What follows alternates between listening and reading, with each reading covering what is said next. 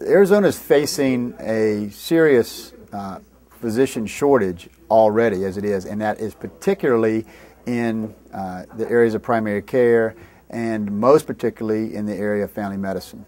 With more and more people coming to the state, we're going to need more and more doctors. We already have one of the smallest per capita uh, physicians to patient ratios. And if we continue to lose physicians, continue to lose training programs, you can guarantee that that availability of physicians to patients is going to go down.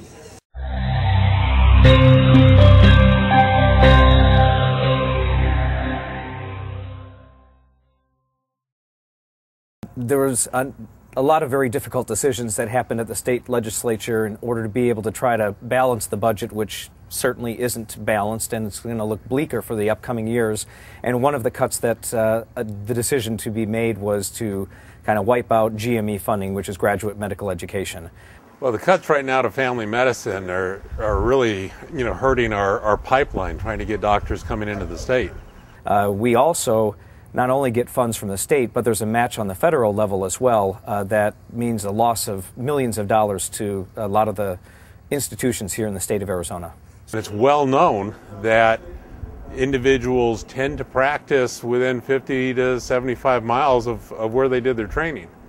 If you don't have spots for family medicine residents to train in the state of Arizona, we're not going to meet the needs of our state. Because of the potential impact on family medicine programs family medicine as a specialty in hospitals that have multiple programs tends to be most at risk for closure because our budgets are tighter. We don't have big ticket procedural items that support us clinically.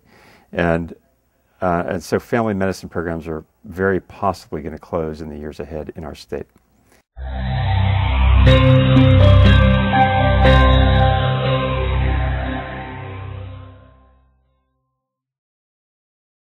One of the things that we're having a lot of trouble with right now is access to care, getting folks in to see uh, see doctors, not only Medicare patients but also uh, people with commercial insurance. They're having trouble finding a doctor. They're having trouble getting that continuing care. A lot of the people are having to go to the urgent care to get their blood pressure treatment, where really that's episodic and, and not really optimal care. One of the things that's also happening with our recession is actually more people are qualifying for, uh, for uh, Medicaid because they don't have a job now. And uh, one of the difficulties that's happening is we don't have enough docs to see the patients we have right now. And if we don't have the replacements available, then it makes it even more difficult. We already have a huge problem with primary care availability to Medicare patients, especially that they haven't fixed the SGR formula. By not allowing primary care to uh, primary care physicians to train here, we're going to lose that primary care base and therefore less availability to Medicare patients.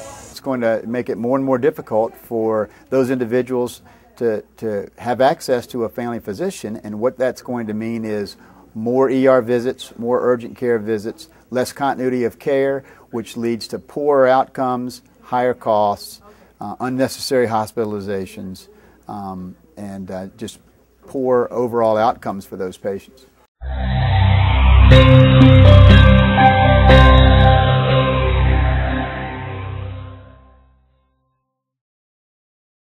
I would urge the governor and the legislature to reconsider uh, health impact of the budget cuts that are on the table.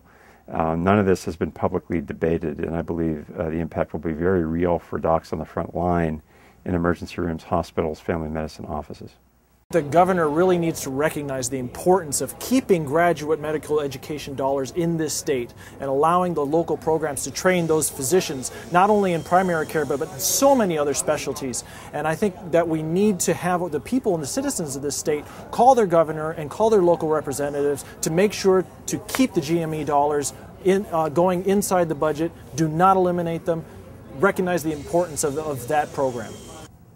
We know that primary care is the best, most cost effective way to provide health in our communities, healthcare in our communities.